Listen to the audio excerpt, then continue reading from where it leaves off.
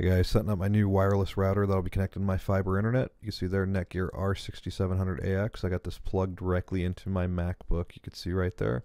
We'll be setting this up as access point AP mode. We'll see the results soon.